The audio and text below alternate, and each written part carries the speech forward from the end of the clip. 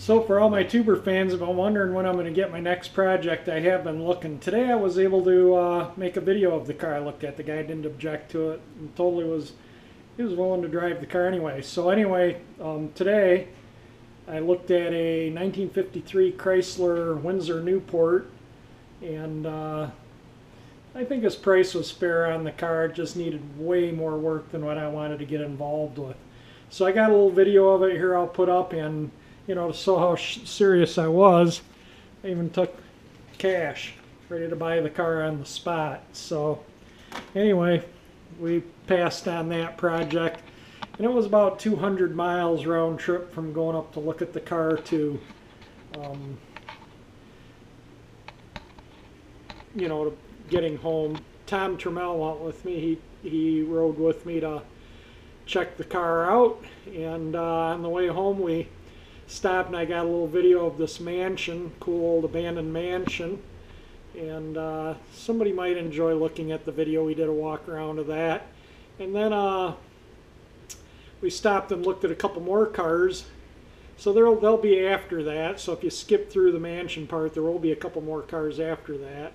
But there was one car I found that I told the guy when he's ready to sell it, you call me and I will come out and buy it. It was a 1940 Ford that was street rodded back in the 70s, in the early 70s.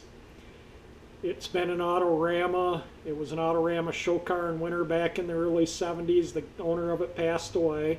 And the car hasn't moved since 1979. It does not have the flathead V8 in it. It actually has a late 50s Olds rocket in it with a chrome generator. I mean, this thing was primo nice. It was a period correct street rod for that era, and the paint was nice, although it was, you know, had a quarter inch of dust and dirt on it, but it was covered up. We did pull the covers off and open the doors and look in it, and uh, the brakes were not seized up. We could still roll the car a little bit, and uh, the engine was not stuck, and uh, it was really a car that you just leave alone. You just clean it up, get it in running order, go through the brakes and fuel system, and just drive it as is. It was really a magnificent car. The only thing is, is the original owner's son wants to buy the car from him, but can't come up with the money. And uh, he's promised him first dibs on the car, and I totally get it. I understand it 100% of the way. So he's going to call him up and, uh, you know, see if he still wants the car. And if he doesn't, he said he'd give me a call. So I left my name and number, and you never know. I might end up with this 40 Ford that really a beautiful old car. It was a. I didn't get any video. He didn't want me videoing in his place, and I get it. You know, some people just don't want that. They don't want their, you know, people to know what they have. So I respect that. So I didn't take any video of it, but it was super cool. It was done up. The engine was still painted up nice. It was not an Oldsmobile engine color. It was more like the body color on the car, the engine with chrome valve covers, chrome generator. I mean, it had chrome reverse wheels. It had early 70s disc, disc uh, brakes on the front like you'd find on cars in that era, you know, from new. And uh, because, you know, disc brakes weren't starting to become common until the early 70s. So most cars of the 60s still had drum brakes. So yeah, so it was kind of a really cool car. I'd love to buy it. I told him if you part with it, give me a call. I can be there same day with cash in hand, and I would take the cars off his hands. It was really a super unique to find an, uh, a, a street rod or a hot rod, so to speak, of the early 70s that's unmolested. It's been parked since 1979, and this is an untouched car from that era, from when it was built back then. So a very unique car. Love to have it. So who knows, maybe. But anyway, I've been looking. I've looked at a couple other cars. This Mustang convertible had rotted out rear frame rails. You know, it's just a lot of work when it's a convertible because you got to reinforce the undercarriage when you're changing that stuff and whatnot. But anyway, I'm just gonna upload the video of this uh, 53 Chrysler. It did have the 331 cubic inch two barrel with the Hemi. Uh, Hemi had engine in it. It had the fluid drive um, automatic with a clutch. Um, basically a two-speed automatic. Um, it was it was a neat car for a person that wants that car. Like I say, I think he was I asking a fair price for the car, but again, it was way more work than I, it needed. You'll see in the video, it needed pretty much all a frame off restoration to make it a you know a value, and I think that would exceed the cost of what the car is worth. That car was a put brakes and fuel system, go through the brakes and fuel system, make it roadworthy, and just have fun with it as is. It was really a neat car. It's it really I don't think the car, unless you spe specifically want a '53 Chrysler Windsor, it was not worth the effort to, you know, the expense I should say, not the effort, but the expense of uh, restoring it. It would cost more to restore than what the car's, you know, value would be worth if you sold it as a restored car. So that's why I kind of passed on it. But it was really a neat car, and I again, he was asking a fair price. So if you know if somebody's interested in it, it you can see the link in the Detroit uh, Metro Craigslist, and uh, just put in 53 Chrysler, and it will come up. So yeah, that's kind of about what we looked at today. All right, we're kind of in the middle of nowhere and just north of Kingston, Michigan, and this is a 53 Chrysler Windsor Newport.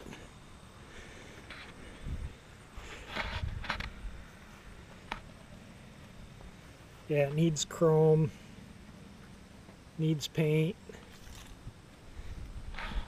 It's had body work done here. You can see where the car's been bondoed in. This would be normally a joint because this panel bolts onto this. So, you know, it's molding would go down here, so the molding's missing too. There's some rust in the inner wheel well, This side rocker panel's been, a new one's been welded on. Got issues with the glass. All the chrome needs to be replated on the whole car needs an interior and I was looking for an interior project but the dash needs a lot of work too. You can see the chrome is not real pretty but it's got a radio and a clock. The rest of the ashtray here is in the trunk and the bottom of the steering column is in the trunk. Does not have the original ignition switch. It's got the clutch but the automatic clutch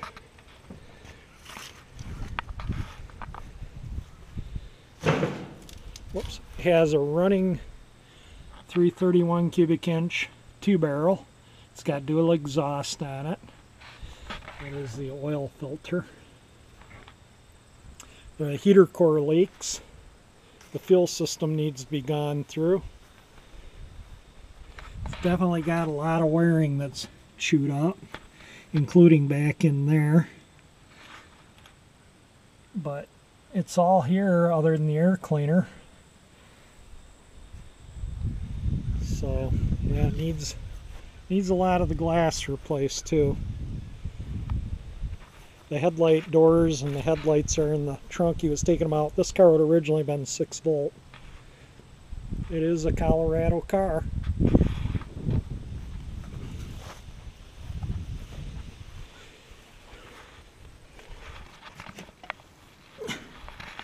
So you can kind of see the underside. This rocker panel, you can see where it's been welded up. So the rocker panel's been done. It's got new exhaust.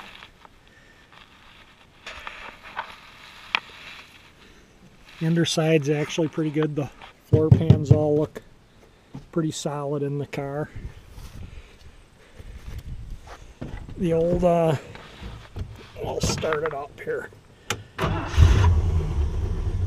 It's got 61,000 miles on the odometer. The gauges actually work. The fuel gauge doesn't, but the ammeter is showing it's charging. It's got oil pressure, showing some temperature.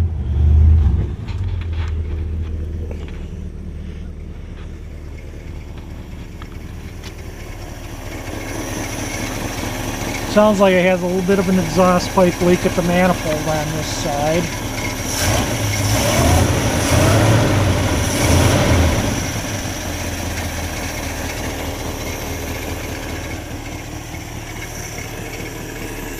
Make a nice car to fix up into a just a driver as is. It's not worth doing a restoration on. I'm going to pass on buying the car because of that.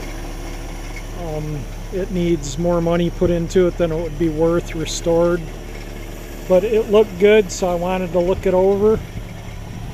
And I think somebody, you know, the price is reasonable on it. I think it's a fair price what he's asking for the car.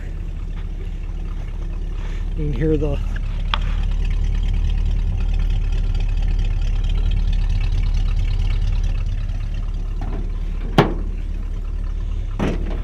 the bottom of the air cleaner is the only part that's there. Those are the headlight doors. Some of the trim for the steering column. Door panel stuff. The Newport emblems. This old spare tire here is a Kelly. It's got newer tires tires on the car, but this is a Kelly Springfield. So you can see the car I think is it's a fairly solid car. Make a good good project for somebody, but not me. So that's where it would have said Windsor Newport.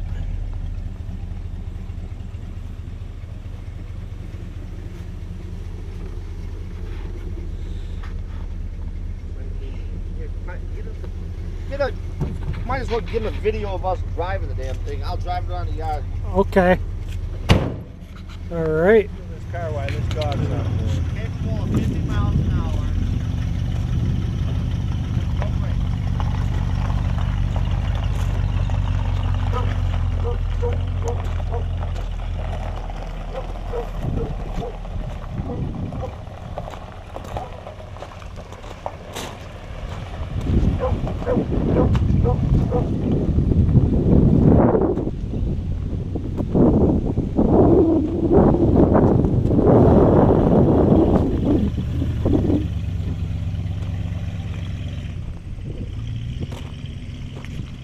So it does run and drive as you can see.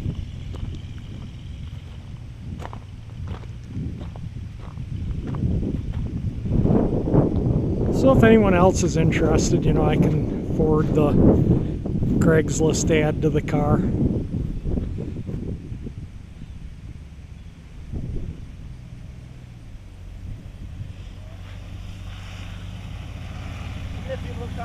Yeah, totally.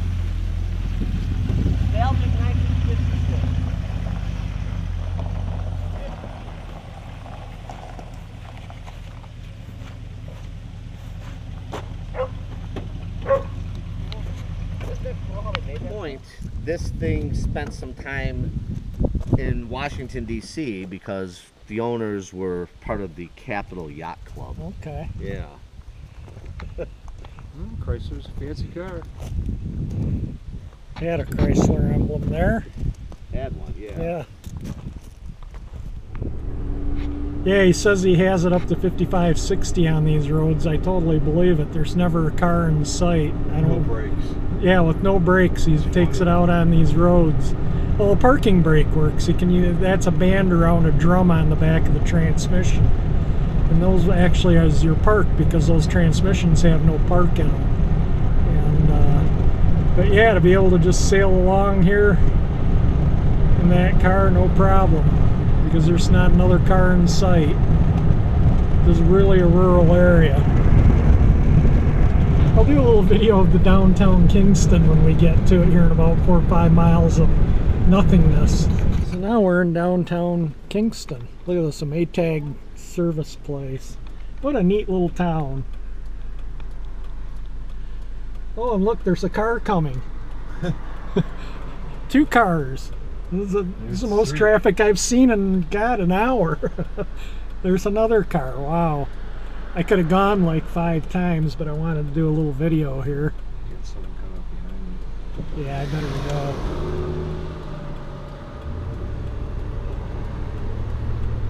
Well, this is M46, so it's a little busier road. Just go around. Yep. Well, I better not go too fast until we're. 45. Yeah, the usually these small town cops don't have anything better to do than patrol. So, well, that was totally worth going to look at. I really enjoyed going to look at that car, even though it was, you know, two hours each way. It was totally worth it. And it was worth what he was asking for it. It just was a bigger project than what I wanted. So hopefully somebody out there will fall in love with it and buy it and restore it because it was totally worth it. I know this isn't car related at all, but I love these old homes. Drove by the center way up here. And this is an amazing looking house. So I just stopped to get some video of it. I am not going to go any closer. I assume somebody lives there. It looks lived in. So yeah, pretty neat place. Kind of in the middle of nowhere still. So you can kind of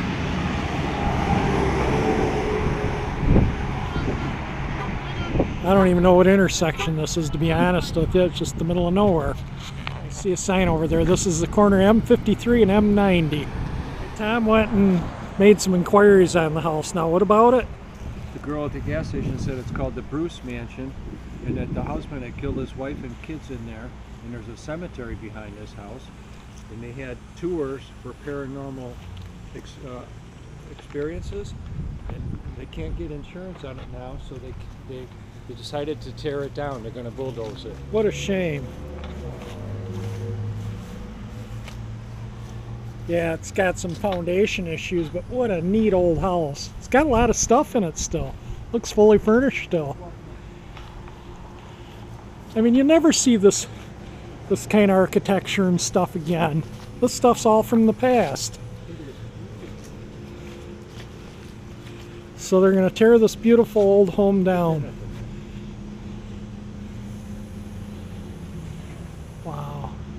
I mean, this house isn't beyond fixing up. It's in, it's got good bones to it still. It looks like just from a quick walk around.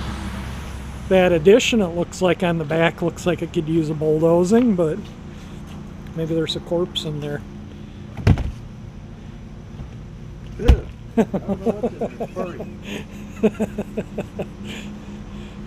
Four electric meters, so they must have been built into it apartments at one time. yeah. needs this needs to be bulldozed, this addition. Oh look at that cool old tree. Yeah, that would have to go. Yeah, it does. Wonder if there's any old cars here that we could buy and drive home. Wouldn't surprise me. I found them in places like this. The 58 Dodge came from a place like this. Look at the cupola. That's wrought iron. Yeah, See on the very top. Yep, right.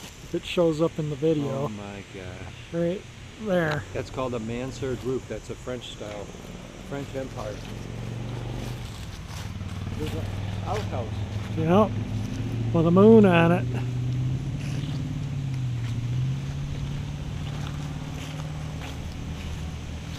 Is there any cars in there? Look at a portable sign. When was the last time you seen a portable sign?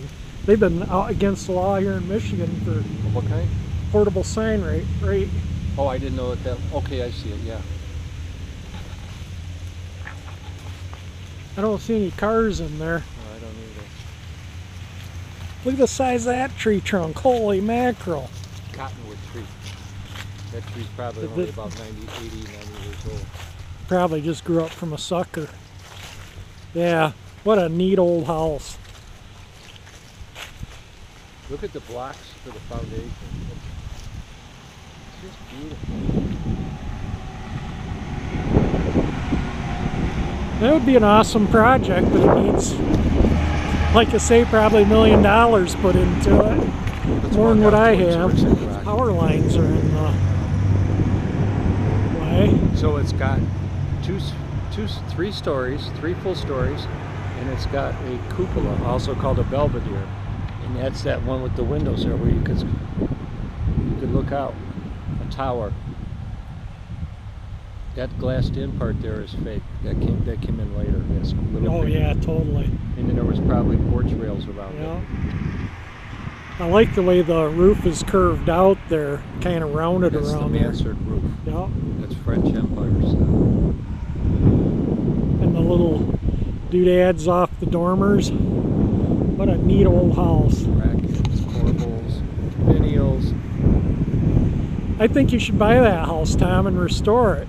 Yeah, with all my extra money. Yeah, Let's Yeah. see, I can't afford to put money in my Eldorado and build a gas tank up. But I'll, I'll buy this house and restore it. let it suck all the remaining money you have up. Because I bought my lotto tickets to buy it. Oh, okay. So when you win the lotto, this is going to be your new home. I would live in town here. Arch windows and then a little round thing above there. Yeah, Tom was just pointing out the dormers are rounded there Someone sprayed this house and did a crappy job. Flat the top windows. there. Yeah. It's called the Bruce Mansion.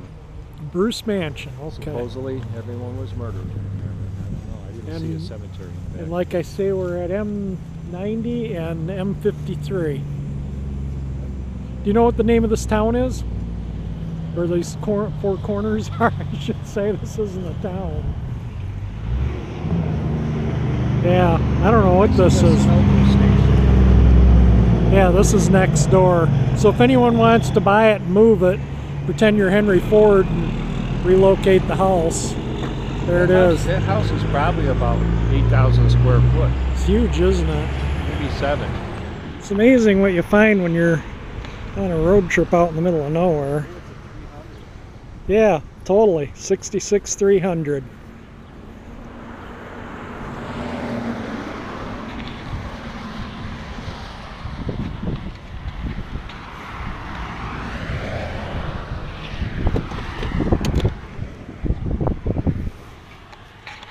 Shows 72,000 miles on the clock.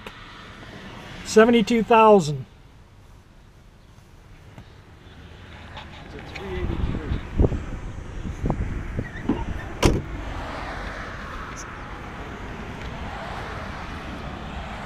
Yeah, a nice looking car. Yeah, it It's out of my price range. Yeah.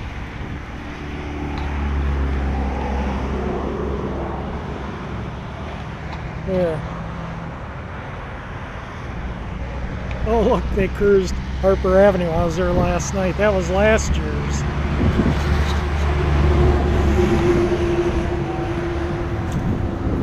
Yeah, it's a nice looking car. That would have to go. Yeah, that's stupid. Nice, clean, solid car. Yeah, they need a new top. I want to look at the. Yeah, it does, doesn't it? I want to look at that 61 Chevy too. Oh wow, this thing looks pretty original.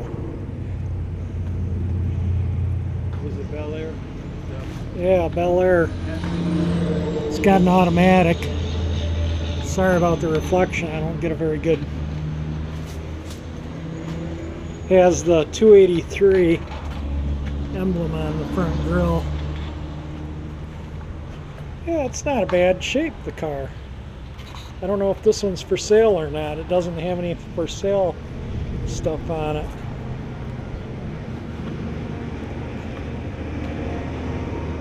I would presume that it's an Arizona car. Yeah, it's solid. Looks really solid. Well, again, if you enjoy my videos, please subscribe. And again, thank you for watching.